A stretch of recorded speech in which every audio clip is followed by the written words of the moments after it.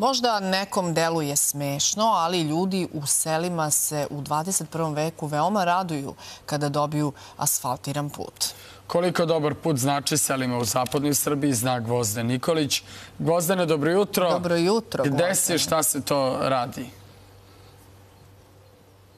Dobro jutro, Marijana, dobro jutro, Filipe.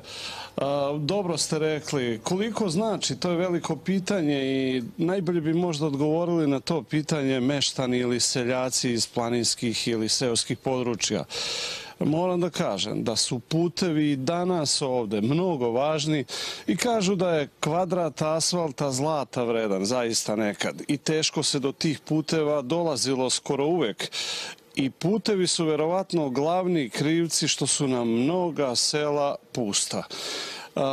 Malo situacija se menja u poslednjih, u poslednjih jednu ili dve decenije, sve više tih puteva, i nadamo se da će neko imati i ko da ide tim putevima. Ti putevi nekada su rađeni ručno, recimo kulukom. Poznati su ti carski drumovi gde je na hiljade ljudi kulučilo volovskim zapregama, krampovima, klepanim krampovima da prokopa stazu kako bi došli do kuće i uvek je to bio problem.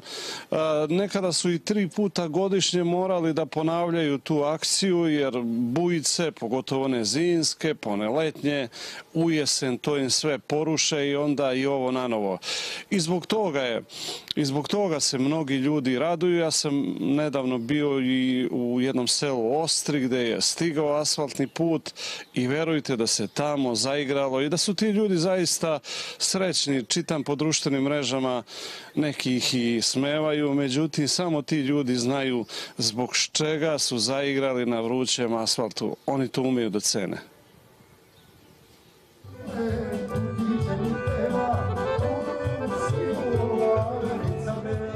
Decenijama su ovi planinci sanjali da njihov sokak postane pristojan put.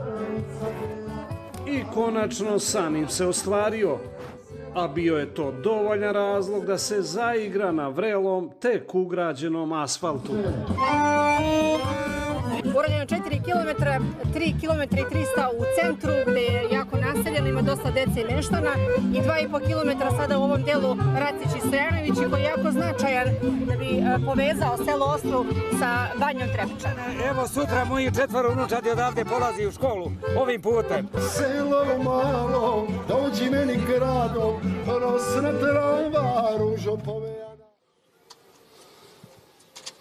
Evo videli ste zaista i ovi ljudi to za, se raduju iskreno ovom putu i posebno raduje onaj kadar kada ona deca na biciklama se onako srećni voze tim putem.